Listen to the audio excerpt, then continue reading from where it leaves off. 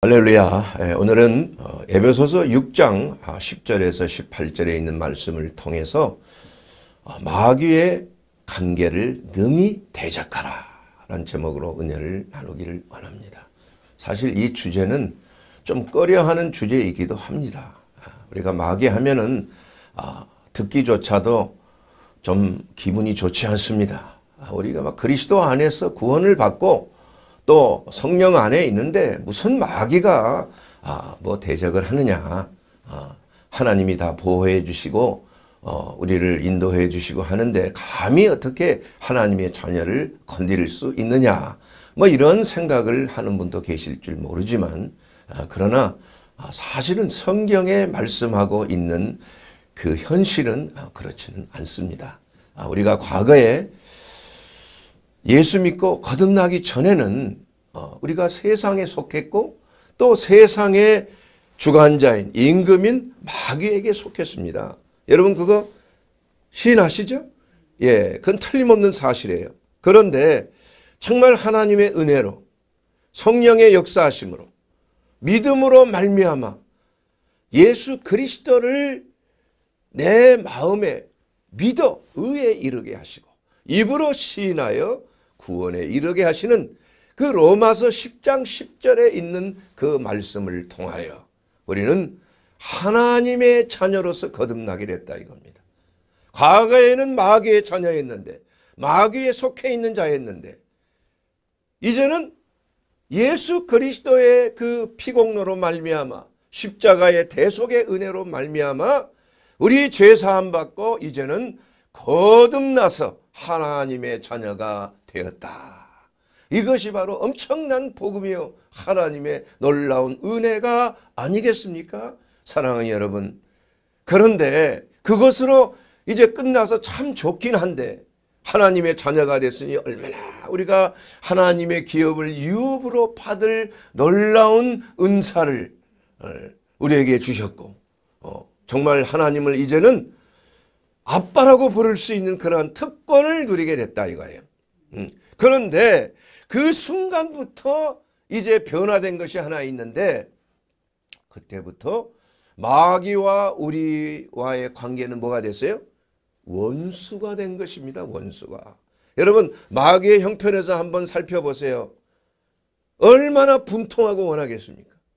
과거에는 나의 노예 생활을 했던 애가 과거에는 나의 말에 꼼짝 못하고 시키는 대로 했던 자가 이제는 하나님의 자녀가 됐다고 이제는 어, 하나님이 보호하시고 예수 그리스도 안에 거하게 됐으니 얼마나 마귀가 분통하고 요동하고 어떻게 해든지 틈만 있으면 분노하여 어떻게 한다고요? 우는 사자처럼 표하는 거예요. 표. 여러분 동물의 왕국에 처음에 마귀가 왕 하고 표하는 그 그게 나오잖아요. 얼마나 무서워요. 예. 이와 같이 마귀가 분노하고 있는 거예요. 그래서 어떻게든지 믿는 자들을 다시 실족하게 하고 미혹하고 속이고 도적질하고 멸망시키고 죽이려고 하는 이러한 역사를 간계를 하고 있다. 간계를. 그런데 사실은 마귀는 어, 합법적으로 우리를 건드리지 못합니다. 왜냐?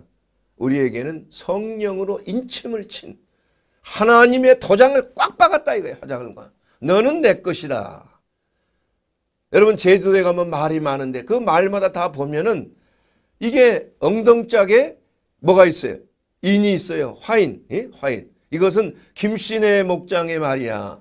아니 이것은 이씨네 목장의 말이네. 그래서 말의 소유권들이 뭘 보고 하냐? 그 인침을 보고 한다.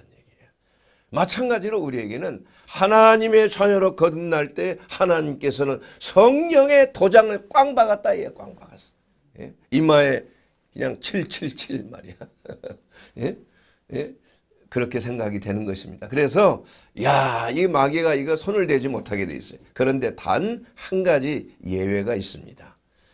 속임을 당하면, 기만을 당하면, 거짓말을 해서 이것이 속이면은 그때부터 문제가 생기기 시작하는. 여러분 아담과 하와가 하나님의 연합하여서 완전히 하나님과 하나 돼서 에덴 동산에서 모든 것을 다스리고 그 풍요로움과 풍성한 모든 것들을 다 누리고 자기 말 한마디에 모든 이 에덴 동산의 모든 것들이 다 순종하고 따르도록 하나님께서 그 권한을 주셨다 이거예요.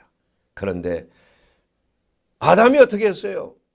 하나님이 하지 말라고 한 생명나무 하나님 이 선악과를 알고 아는 선악을 아는 이 나무를 너는 먹지 말라. 그거 먹으면 죽는 거야. 큰일 나는 거야. 그랬는데 그냥 하와가 아담의 아내인 하와가 호기심이 많아요. 그래서 그 선악과를 어떻게 생겼나 좀 호기심에서 가까이 갔는데 마귀가 아 하나님께서 어, 이거 먹으면 죽는다 그러더냐? 아니야. 한번 먹어봐. 정말 맛있어. 먹어보면 눈도 밝아져. 그야말로 건강해지는 거야. 어? 먹어보면 하나님처럼 되는 거야 그래서 하나님이 그거 먹지 말라고 그런 거야 이렇게 속임을 하는 거예요 기만 그러니까 그 말을 들어보니까 어때요 이야 보험직하고 먹음직해요. 탐스러운 거예요. 그래서 의심을 하는 거 하나님의 말씀을 의심을 하는 거야. 야 어쩌면 저기 뱀이 이 사단이가 그때는 뭐 뱀처럼 생긴 게 아니었어요. 그 어, 천사였잖아요. 그 루시퍼가 말이에요. 얼마나 아름다운 천사야. 그러니 그 천사의 그 말에 그냥 혹시나 그 말이 맞을 수도 있다 하면서 선악과를 배 먹는 순간에 예, 이제 그때부터 문제가 생기기 시작하는 거야. 응? 그렇게 해서 결국은 어떻게 됐어요? 자기의 벌거벗은 몸을 알기 시작하고 어? 자아가 싹트기 시작했어요. 그리고 하나님과의 그 관계가 단절이 되기 시작한 거예요. 단절이. 이것이 바로 죄라는 것의 시작입니다. 여러분. 죄라는 것이 꼭 우리가 뭐 뭐 안식일을 범하고 뭐 우상 숭배하고 간음하고 뭐 살인하고 도적질하고 이런 것은 하나의 죄에 대한 하나의 종류야. 그러지만 죄라는 것 딱 한마디로 하나님의 뜻에서 벗어난 것이 모든 이러한 하나님의 뜻에 어긋난 것이 죄예요. 그게 죄의 뜻입니다, 여러분. 응? 아, 그렇기 때문에 이렇게 함으로 인해서 이것이 범죄하고 타락해서 결국은 마귀의 노예가 되고 말았다. 이거 마귀의 노예가. 응? 얼마나 비극적인 일이 생겼어. 그리고 나서 결국은 성경 말씀대로 죄의 싹은 뭐예요? 사망이니라. 탐심이 잉태하여 죄를 낳았어. 선악과를 탐했다 이거. 그 탐심이 결국은 죄를 낳고 응? 그 선악과를 따먹게 만들었고 결국은 그것이 결국 장성하여 뭐가 됐어요? 사망을 이루게 됐다. 죽음이 왔다는 거 죽음이. 예. 얼마나 참 어, 원통한 일입니까? 그런데 사실 우리가 믿음 안에서 거듭난 그리스도인이라 할지라도 마귀는 끊임없이 똑같은 방법으로 우리를 미혹하는 거야. 음? 어떻게 미혹합니까? 너는 이것을 가질 자격이 있는 거야. 그리고 세상에 누구도 죄 없는 사람으로서 다 완벽한 사람 하나도 없어. 그러니까 딱 한 번이야. 딱 한 번. 괜찮아. 하나님은 용서와 극률과 자비가 많은 분이야. 어? 그리고 그렇게 되면은 회개하면 되는 거 아니야. 회개하면. 이렇게 해서 죄에 대한 심각성을 말이죠. 살짝 이렇게 감춰버리는 거야. 사실 아담이 그 단 한 가지 사실 별거 아닌 것 같잖아요. 아 선악과 좀 따먹으면 좀 그게 그렇게 큰 죄인가? 그런데 그걸로 인하여서 어떻게 됐어요? 죽었잖아요. 사망이 왔잖아요.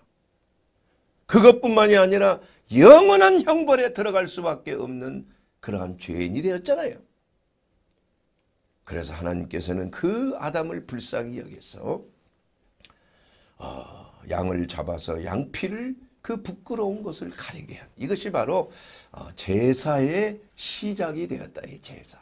예수 그리스도의 그 희생 제사, 어린 양의 그 속죄적인 대속의 은혜의 그러한 모델이 바로 구약에서의 제사를 통하여 죄사함을 이룰 수 있는 그 길로 갔는데 그 구약 성도의 사람들이 제사를 통하여 구원받은 게 아니야. 바로 제사는 예수 그리스도의 십자가의 대속의 사건의 모형일 뿐이지 우리는 그 제사를 통해서 예수 그리스도의 오실 예수님을 우리가 믿음으로 그들이 구원을 받았다 이거야. 우리는 이미 오신 예수님을 믿음으로 우리가 구원을 받. 하나님의 어린 양이고 하나님의 화목 제물이시고 우리의 죄를 위하여 십자가를 지시고 물과 피를 쏟으신 예수 그리스도를 우리는 이미 오신 예수님을 믿음으로 구약 시대의 성도 사람은 오실 예수님을 믿음으로 제사의 모형을 통해서 그래서 구원은 예수 그리스도밖에 없다. 천하에 구원받을 이름을 다른 이름을 주신 적이 있다 없다? 없다. 예. 그러기 때문에 마귀는 어떻게 해든지 성도로 하여금 실족하게 만드는 거야. 근데 그 실족하게 만드는 것, 하나님과의 그 관계를 분리시키는 것이 뭐냐? 바로 속임수란 얘기예요. 이것이 마귀의 관계입니다. 관계. 예. 우리가 속지 아니하면 마귀는 우리 가운데 역사할 수 있다 없다? 없어요. 마귀는 합법적으로밖에 역사하지 못. 영적인 세계는 이 법이라는 게 있어요. 그래서 법을 어긋나서 할 수가 없는 거예요. 하나님의 법인데 이것이 바로 율법이라는 것이에요. 율법. 그래서 율법은 죄를 드러나게 하는 거 아니에요. 그래서 율법을 통하여 우리가 구원받을 수 없다는 것은 분명한 사실이에요. 왜냐? 한 사람도 의로운 사람이 없어. 율법의 의의를 다 지킬 사람이 없다 이거야. 예. 그래서 행위로 우리가 구원받을 그러한 가능성이 0.1%가 아니라 0%다 이게. 한 사람도 행위로 완전한 행위로 구원받을 사람이 없다 이거예요. 그래서 죄 없으신 예수님께서 죄 없으신 예수님께서 인류의 죄를 저와 여러분의 죄를 대신하여 정죄함을 받으신 것. 이것이 바로 엄청난 하나님의 놀라운 대속의. 예, 이것을 속이게 만 다시 범죄케 하는 거야. 예? 그래서 사람들로 하여금 음? 어떻게 범죄케 하느냐? 마귀가 일어나서 야 너 이것 좀 해라 이렇게 하랍니까? 아니에요. 환경을 통해서 사람을 통해서 이 세상에는 하나님의 일꾼도 있지만은 마귀의 일꾼도 많이 있다 이거예요. 그래서 고린도 후서 11장 14절 이하에 보면 음? 사단도 자기를 광명한 천사로 가장하나니 15절에 보면 그러므로 사단의 일꾼들도 자기를 의의 일꾼으로 가장하는 것이 또한 대단한 일이 아니라 실제로 마지막은 그 행위대로 되는 것이다. 그러니까 이 세상에는 하나님의 사역자, 하나님의 종들도 있지만 마귀의 종들도 있다. 이것이 바로 하나님의 종들과 마귀의 종들 간의 영적 전쟁이 일어나는 여러분 예수님 예수님의 제자들도 말이에요. 다 나중에 배신했잖아요. 예수님이 누구십니까? 하나님 아니십니까? 3년 반 동안이나 그토록 말씀으로 기적도 보고 능력도 행하고 귀신도 내쫓고 뭐 죽은 자도 살리는 이런 기적을 직접 본 자들 아니에요? 그런데도 예수님을 배신하고 다 떠나버리고 말았어요.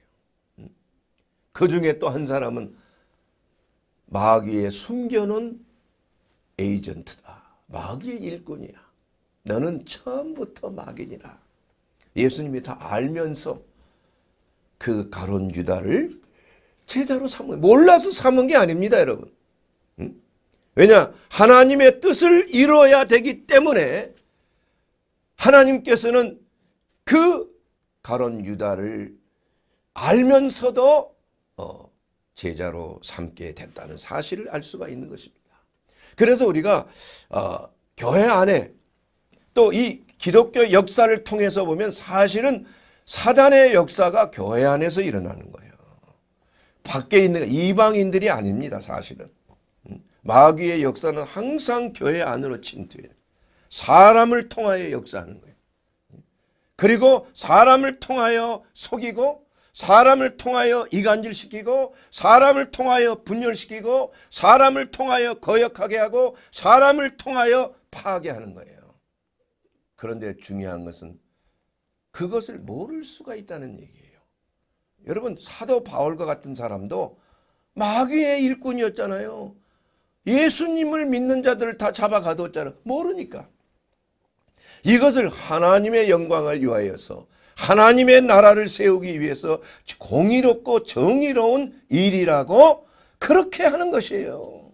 예? 그러나 성령께서 역사했을 때에 비로소 그는 180도 변환된 거예요. 이것이 바로 회개라고 하는 역사예요. 회개. 예. 그러나 이 사단의 그 역사는 어, 바로 속임수로 사람으로 하여금 미혹하여서 실족하게 만드는 어떻게 해서 그 사람이 그러한 마귀의 일꾼들이 돼가느냐. 구약 성경을 통해서 보면 모세를 대적하고 어 그냥 돌로 던지려고 하고 다윗을 대적하고 아브라함을 대적하고 이러한 일들이 너무나 많아요. 그러나 실제로 가장 측근 쪽에서 일어나고 있는 거예요. 예? 왜냐하면 시므이 같은 사람이 막 다윗을 저주하고 말이야. 막. 예? 다윗이 연약해지고 어려워졌을 때 공개적으로 후욕하고 저주해. 예? 그러나 다윗은 그만 놔둬라. 예? 하나님이 죄를 통해서 뭔가 얘기를 하시는구나. 예? 그 하나님의 사람이기 때문에 하나님의 그 뜻을 그는 잘 알고 자기 자신의 잘못이 있을 때는 회개하고 그러나 결국은 그 시므이는 나중에 다윗이 죽을 때 솔로몬에게 시므이가 내게 이런 일을 행했느니라. 너는 그것을 그대로 두지 말라. 그렇게 해서 처리하는 거예요. 처리.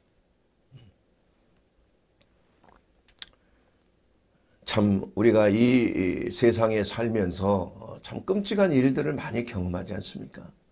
뭐 세모녀 살인 사건이라든지 뭐 어린아이 그냥 뭐 이렇게 방치해서 죽게 만들고 참 어떻게 그런 일들이 일어날 수 있는가? 여러분 그 얼굴을 한번 보십시오. 예? 얼마나 이쁘장하게 생겼잖아요. 보기에 순하게 생겼어요. 누가 저 사람이 저런 행위를 할 거라는 걸 상상조차도 못할 정도. 그러나 그가 왜 그런 일을 행하느냐? 자기 속에 내재되어 있는 그러한 그 죄성, 이러한 그, 그 살인 욕구, 음란 욕구, 이것이 마귀의 노예가 된 마귀의 에이전트가 된 사람들의 특징이에요. 그래서 이 범죄 심리학자들이 에, 연구를 많이 저, 저 사람이 왜 이런 일을 행했을까? 음? 어떤 성격 장애가 있는 것인가? 뭐 사이코패스니, 뭐 소시오패스니, 뭐 이런 것들 사실 우리 우리 주위에 비일비재하는 거예요. 예?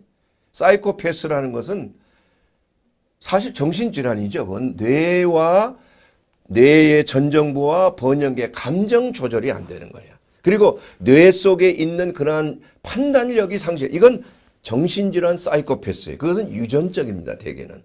그리고 자기가 한 행동에 대해서 하고 나서는 어떻게 할 줄을 몰라요. 충동적인 범죄예요. 이걸 사이코패스라고 그래요. 예. 그리고 소시오패스라는 것은 다 정상입니다. 보기에도 아주 멋지고 아주 나이스해요, 사람들이. 그리고 사람들이 인기, 인기도 있어요. 그런데 중요한 것은 뭐냐면 자기의 이 어떤 모욕적인 발언을 받거나 자기가 어떤 해가 되는 일에 대해서는 용서치 않는 게 있어요. 반드시 복수합니다. 그리고 이것을 사람을 통해서 복수를 하고 계획적으로 복수를 하는 거예요. 예. 거기에 대한 양심의 가책은 하나도 없는 거예요. 당연히 자기는 이렇게 해야 되는 것으로 당연시 하는 거예요. 그래서 무서운 일들이 일어나는 거예요. 그건 사실은 어, 우리 사회에 있어서 100명 중에 한 4명 정도가 통계학적으로 있는 거죠. 근데 이, 그런 사람들의 대부분의 문제는 과거에 유아 시절이나 자라나는 과정에 엄청난 학대를 받, 정신적인 충격, 또 정서적인 불안, 학대 이런 걸 통해서 감정의 결여가 돼버려요. 감정이. 음. 근데 사실 이것은 뭐의 역사예요? 마귀의 역사 아닙니까?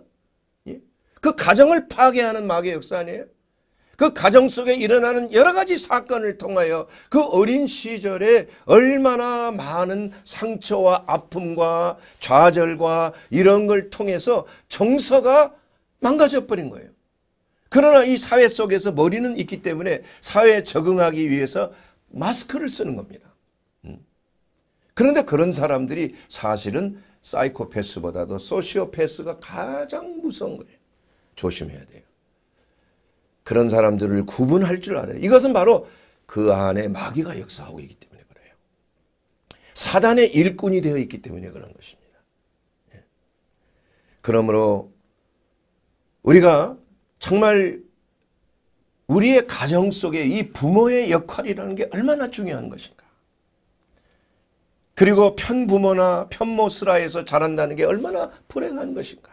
그래서 마귀는 이 하나님이 세우신 세 가지의 기관을 파쇄하는 거예요. 도적질하고 죽이는 거예요. 어떻게 그래요? 가정을 파괴시키는 거예요. 가정. 그래서 그 가정의 파괴를 통해서 부모 간의 불화, 부부 간의 불화, 어? 그리고 그냥 그 가족들 보는 데서 여러 가지 그냥 말할 수 없는 그런 것이 어린 사람이 목격하고 자랄 때 그 상처가 너무 큰 것입니다. 예. 그래서 그 상처를 어, 해소하기 위해서 여러 가지 사건들이 그때 마귀의 역사가 침투에 들어오는 거예요. 대부분의 그 어, 귀신 들린 자들의 그 특징이 보면은 어렸을 때 그 상처가 그 받은 순간이 있는 거예요. 그래서 그 악령에 대해서 축사를 할 때 너 왜 들어왔냐? 너 언제 들어왔어? 이렇게 명령하면은 내가 어렸을 때 부모가 나를 학대했을 때 들어왔다. 또 성적인 어떠한 그 추행을 받고 그럴 때 너무 충격 삼아서 들어왔다. 이러한 그 가장 근본적인 그 원인이 사실은 영적인 문제라는 사실을 알아야 돼요. 저는 이 전인치유 사역을 하면서 많은 병자들을 치료하고 매일 제 직업이 그런 거니까 뭐 위장병뿐만이 아니라 뭐 암 뭐 거의 매일 한두 명씩 암을 진단하는 것 같아요 요새 깜짝깜짝 놀래죠 전혀 증상도 없는데 이런 문제들이 드러나니까 아주 그냥 사람들이 일어나지를 못하는 사람도 있어요. 너무 충격이에요. 그런데 그러한 것들의 가장 내면적인 문제가 과연 어디 있느냐. 사실은 암이 마귀가 아닙니다, 여러분. 어떠한 사상이 마귀가 아니에요. 공산주의가 마귀가 아닙니다. 뭐 자본주의가 마귀가 아니에요. 우파가 마귀다, 좌파가 마귀다 이게 아니에요. 우리의 싸움은 혈과 육이 아니라는 거예요. 예? 통치자들과 권세들과 이 세상의 어두움의 주관자들과 하늘에 있는 악한 영들이라 이겁니다. 그래서 이 모든 악한 영들이 문제를 만들고 사람들에게 속이는 것입니다. 그리고 그 속임을 통해서 범죄하게 만드는 것이에요.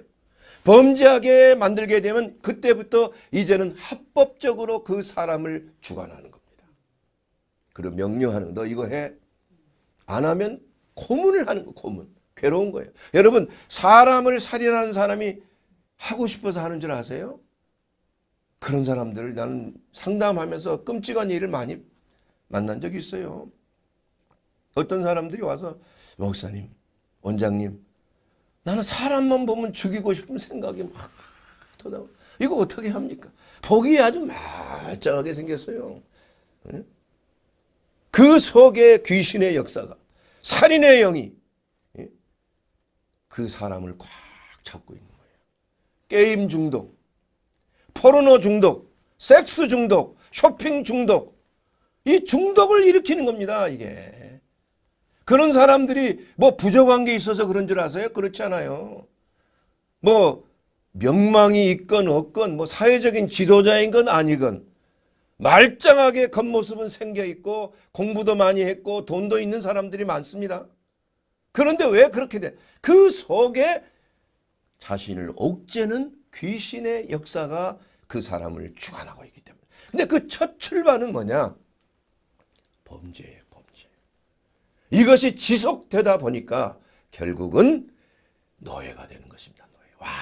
완전히 그냥 자기의 그냥 그 중독에 꽉 걸린. 그래서 한 번 도박 중독에 걸리면은 도박을 안 하고선 배기질 못해요. 예. 한번 어떠한 그 뭐 성적인 이러한 중독, 어? 이게 지금 사실은 굉장히 나타나지 않을 뿐이지 거기에 그냥 그 사로잡혀 있는 청소년들이 너무나 많아요. 청소년뿐만이 아니에요. 뭐 노인들도 마찬가지. 그렇게 함으로 인하여서 하나님과 그 사람과의 사이가 어떻게 돼요? 딱 단절이 되는 거예요. 이게 무서운 겁니다. 여러분, 어, 우리가 그리스도 안에서 성령 충만한 신앙생활을 하다가 하나님이 싫어하는 것을 만약에 행한다 합시다. 그 유혹에 못 끼는. 그러면 그때부터 성령 충만한 자들에게는 어떤 역사가 일어납니까? 그 마음 속에 양심의 가책이 있는 거예요. 이래서는 안 되는데. 그러면서 평화가 사라지는 거예요. 불안해지기 시작하는 거예요. 그전에는 그렇게 힘이 나고 모든 일에 기쁨이 있었는데 그때부터 기쁨이 싹 사라지고 평화가 사라지고 은혜가 사라지고 어? 그 사람의 표정이 어두워지고 그야말로 염려와 근심과 걱정과 불안 속에 들어가게 되고 만다 이겁니다. 이것이 바로 하나의 신호인 것입니다, 여러분. 그러므로 우리가 이 현실을 우리가 이 영적 세계에서 나타나는 현실을 하나의 가상의 현실, 게임하는 것이라 생각하면 안 됩니다. 이것은 현실입니다. 우리 이것은 바로 피 흘리기까지 싸워야 하는 음? 히브리서 12장 4절에 있는 그 말씀처럼 너희가 죄와 싸우되 아직 피 흘리기까지는 대항하지 아니하고 있구나 책망했습니다. 아니 나는 뭐 그런 정도는 아닌데 목사님 왜 그런 얘기를 하세요? 잘 보세요. 그렇지 않습니다. 우리가 성령 충만하면 충만할수록 하나님의 사역을 더 깊숙이 하면 할수록 마귀의 공격은 더 거세지는 겁니다. 그 공격은 더 역사하는 거예요. 누구를 통해서? 사람을 통해서. 주위에 있는 환경을 통해서. 마귀는 가만히 있지 않습니다. 왜냐? 자기의 영역이 빼앗기기 때문에 그런 거예요. 그렇지 않는 사람은 그냥 놔둬버려요. 상대도 안 해요. 그냥 뭐 잘 되라, 잘 먹고 잘 살아라. 이렇게 그냥 건드리지 않는 거예요. 그러나 하나님의 사역을 통해서 하나님의 나라가 확장이 되고 마귀의 진지가 흔들리고 침공을 당한다고 생각할 때는 반드시 마귀는 복수하고 공격합니다. 이것이 그래서 어, 에베소서 6장 10절 이하에 있는 그 말씀 속에서도 우리가 능히 주 안에서 그 힘의 능력으로 강건하여지라. 마귀의 관계를 능히 대적하기 위하여 하나님의 전신 갑주를 입으라 이렇게 말씀하고 있는 것이에요. 사랑하는 여러분, 이것이 사실은 나쁜 것이 아닙니다. 반드시 하나님의 나라가 크게 확장되려고 하면 반드시 공격이 있어요. 교회가 부흥하려고 하면요. 반드시 흔들어 제끼는 게 있어요. 참 저는 이 사역을 하면서 어떠한 시험이 오고 문제가 생기고 그러면은 아하 이건 하나님의 성령이 강력하게 역사하고 있구나. 예, 이런 것을 저는 확신합니다. 예.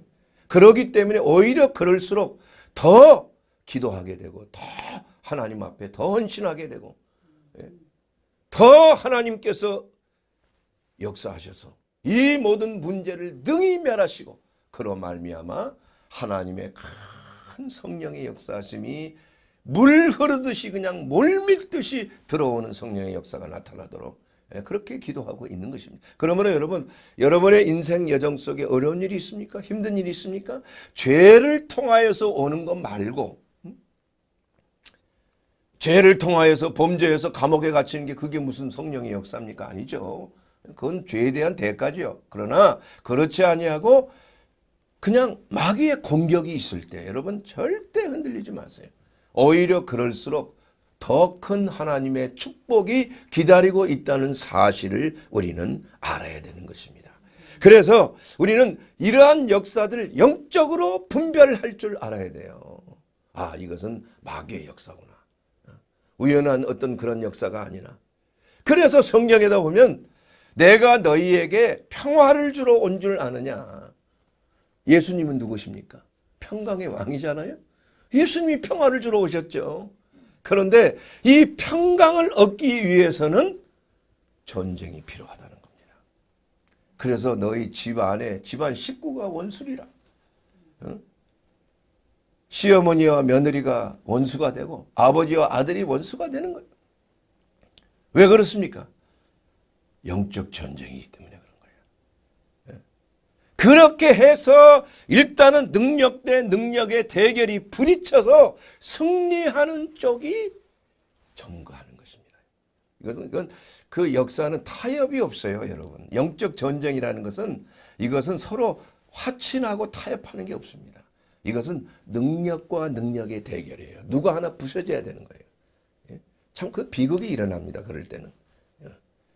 하나님의 이 성경 전체 쭉 흐름을 보게 되면 의인에게는 환란이 있어요. 하나님의 사역자들에게 많은 어려움이 있습니다. 그러나 그 어려움을 통하여 역사하는 모든 사단의 그 일꾼들에게는 엄청난 화가 있다는 것이에요.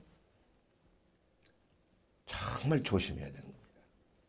예, 그 우리가 어, 천사론에 대해서 우리가 오늘 주제는 아니지만 우리가 잠깐 그것을 어, 살펴본다면은 우리가 우리의 싸움은 어, 혈과 육이 아니고 사람과의 싸움이 아니라 사실은 공중의 권세 잡은 악한 영들에 대한 싸움이에요. 그리고 이 세상의 주관자들 예? 그리고 통치자들 권세들 이것은 바로 타락한 천사들을 상징하는 것입니다.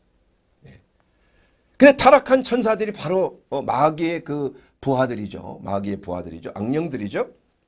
그리고 이제는 이 땅에서 그 사람들은 그 천사들은 공중에서 돌아다니면서 진두지휘를 하는 거예요.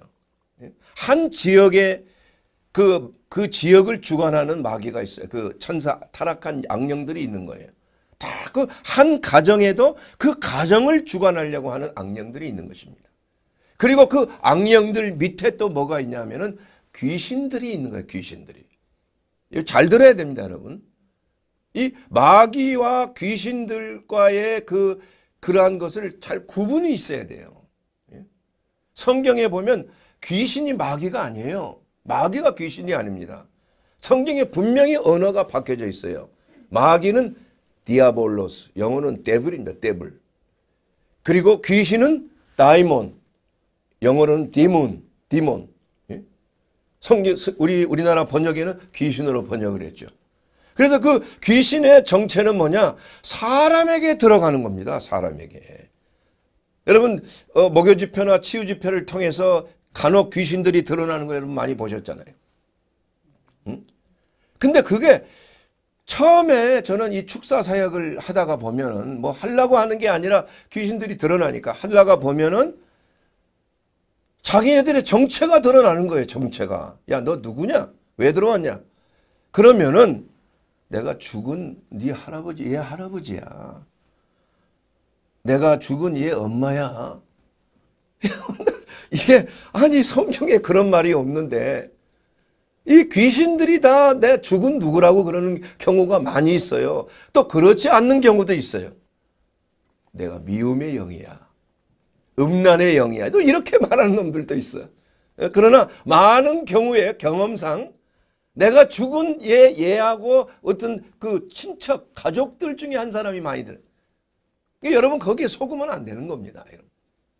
사실은 어, 그 죽은 영혼이 들어간 게 아니라 그건 흉내를 내는 그 사람 속에 들어있던 그 귀신들이 이제 죽으면 떠나잖아요.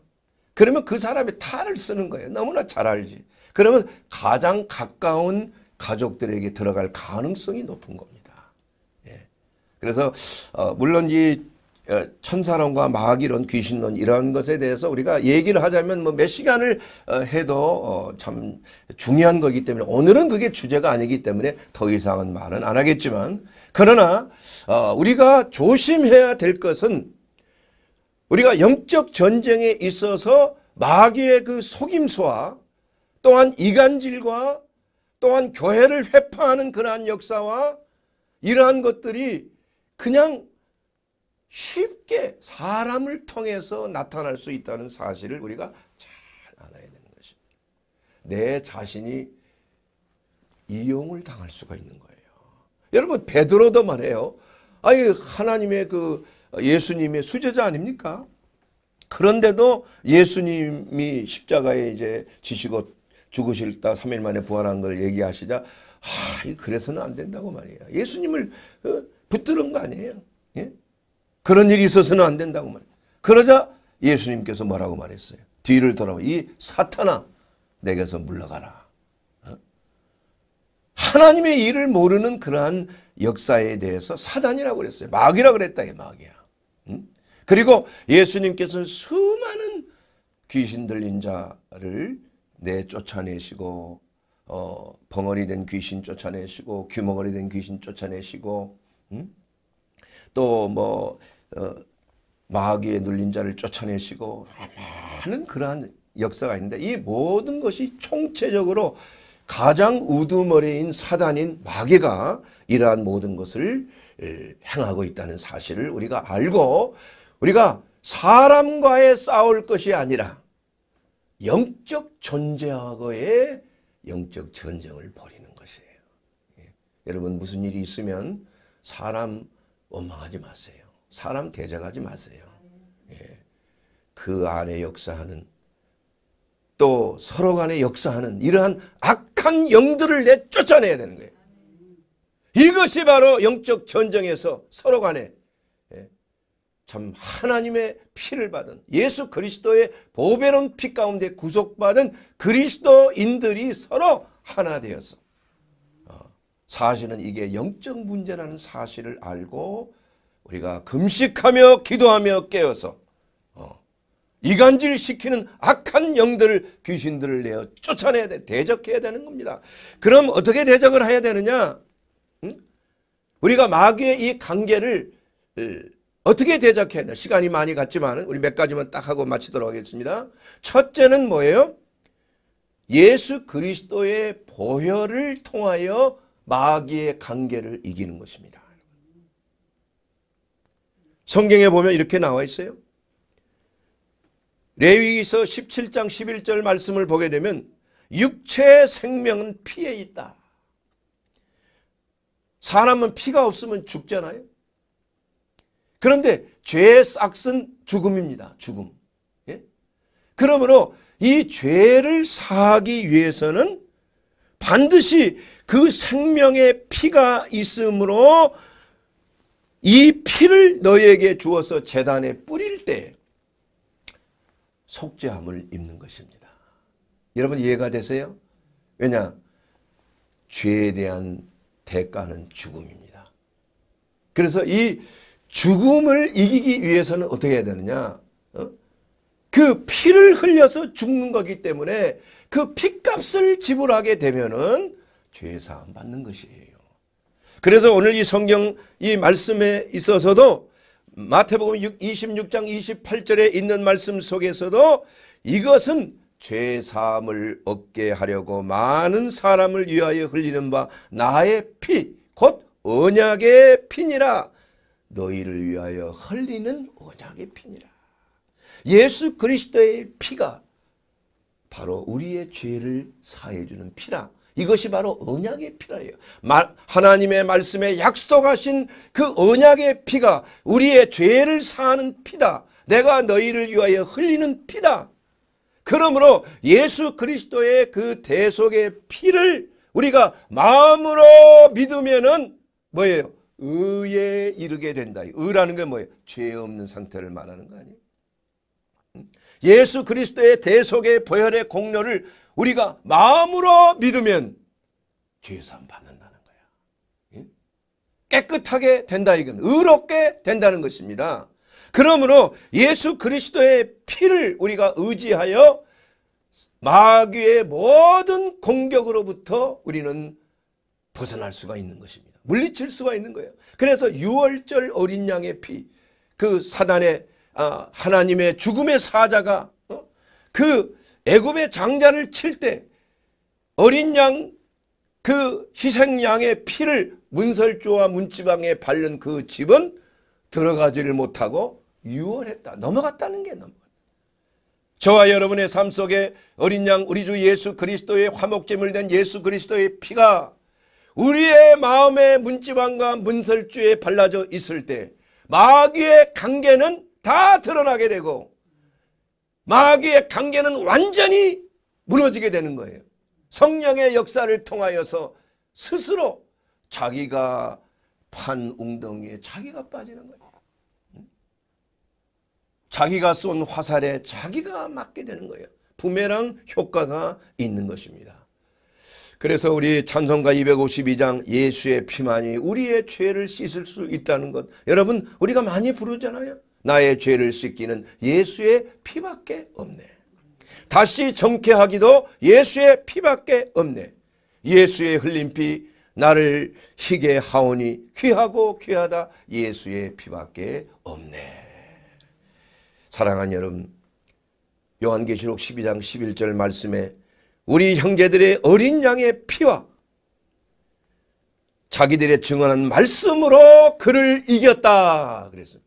어린 양의 피로 마귀를 이겼다 이거예요. 마귀를. 마귀를 이기는 힘은 바로 예수 그리스도의 보혈의 능력이라. 믿습니까? 여러분 그만큼 효과적인 능력이 없는 것입니다. 그래서 첫째는 어린 양 예수 그리스도의 그 피, 하나님의 대속의 어린 양. 그 피가 우리의 모든 죄악과 허물을 다 덮어버리면 마귀가 어떻게 들어와요? 마귀가 어떻게 침범합니까? 그러므로 마귀는 속임수로 들어오지만 담대하게 내가 예수 그리스도의 보배로운 피의 권세로 내가 너에게 명하노니 내게서 떠나라. 나는 그리스도 안에서 정죄함이 없다. 예수께서 나의 죄를 위하여 다 피를 흘리셨다. 이렇게 선포하라 이겁니다. 선포. 둘째가 바로 그리스도인의 간증의 말씀으로 이기는 것이다. 그것이 바로 요한계시록 12장 11절 말씀에 첫째는 우리 형제들이 어린 양의 피와 둘째는 자기들이 증언하는 말씀으로 그를 이겼나니 그들은 죽기까지 자기들의 생명을 아끼지 아니하셨다. 사랑하는 여러분, 여러분 간증을 좀 많이 하셔야 돼요. 사람들이 간증하는 걸 별로 부끄러워하는 경우가 많아요. 이것이 바로 사단의 역사를 완전히 깨 부셔버리는 거예요. 예, 공개적으로 부시는 거예요. 그렇게 해야 혹시 내가 이거 교만해지는 게 아니고 이게 아니에요. 여러분, 여러분 자신을 자랑하지 말고 여러분의 연약함을 자랑하십시오. 그리고 예수 그리스도를 자랑하십시오. 예? 수 그리스도의 보배로운 피로 내가 나 같은 죄인이 죄 사함 받고 이렇게 하나님의 축복된 삶을 살고 있습니다. 내가 과거에는 몸이 어디가 아팠고 내가 정말 잠 못 자는 사람이었고 자살하려고 하는 사람이었고 내가 이런저런 질병에 시달리는 그러한 참으로 희망이 없는 자였는데 예수 그리스도 안에서 내가 이렇게 나음을 입었습니다. 이렇게 말하라 이거야. 그러면 누가 싫어하는 줄 아세요? 물론 그 사람 듣는 사람들이 야 나도 예수 믿어야 되겠네. 그것이 중요한 게 아니라 마귀들이 그냥 소스라치며 도망가는 거예요. 이것을 제일 왜냐 그것은 자기 자신의 패배를 공식적으로 인정할 수밖에 없기 때문에 그런 것이다 이겁니다. 그러면 여러분 자나깨나 여러분에게 주신 하나님의 축복이 많습니까? 아멘. 아멘. 그렇다면 여러분 하나님이 내게 주신 그 은혜의 축복, 생명의 역사, 치유의 역사, 해방의 역사를 여러분이 반드시 증언하게 되기를 주의 이름으로 축원합니다. 이것이 바로 하나님의 역사요. 우리가 그리스도 예수 안에서 주시는 하나님의 풍성한 은혜가 되는 것입니다. 사랑하는 여러분, 마귀는 실제합니다. 그리고 현재도 실제적인 영적 전쟁을 우리가 벌이고 있다는 사실을 알아야 됩니다. 우리에게 나타난 여러 가지 사건들 여러분 실망하거나 낙심하지 마십시오. 이것은 우연한 것이 아닙니다. 이것은 바로 흑암의 영, 이 세상을 주관하는 흑암의 영의 공격입니다, 여러분. 이것을 알면 여러분 낙심하지 않습니다. 좌절하지 않습니다. 잘못된 것은 회개하면 되는 거예요. 그리고 내 가운데 역사하는 이 환경적인 마귀의 역사를 예수 그리스도의 이름으로 대적하게 되기를 주의 이름으로 축원합니다. 이렇게 되었을 때 흑암의 권세는 내게서 떠나가는 것입니다. 여러분이 육신적으로 연약함이 있습니까? 질병의 아픔이 있습니까? 하나님이 주신 거 아닙니다, 이건. 무엇인가 하나님의 섭리 가운데 어둠의 흑암의 영의 간접적 직접적인 역사가 되는 것이 믿습니까? 그렇다면 어떻게 해야 됩니까 여러분? 예수 그리스도의 보혈의 공로에 의지하십시오. 그리고 그 보혈의 공로로 말미암아 내 죄가 다 사함을 받았다고 선언을 하시게 되기를 주의 이름으로 축원합니다.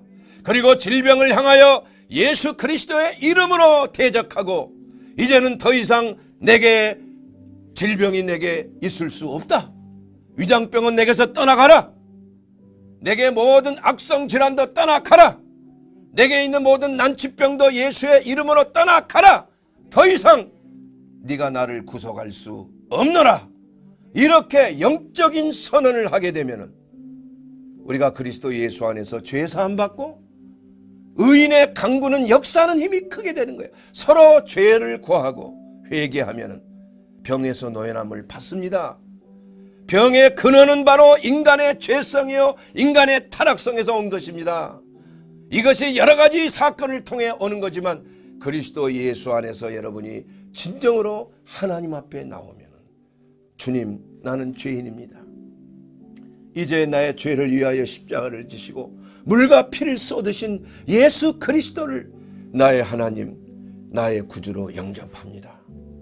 이제 그리스도 안에서 내가 죄사함 받고 하나님의 자녀로서 거듭났습니다. 이렇게 공개적으로 선언하게 되기를 주의 이름으로 축원합니다. 공개적인 선언이 중요한 것입니다. 여러분이 각자의 간증의 말씀으로 마귀를 대적하고 그로 말미암아 여러분의 삶이 진정으로 그리스도 안에서 생명을 누리되 풍성하게 누리는 거룩한 넘치는 생명의 삶이 되기를 주의 이름으로 축원합니다.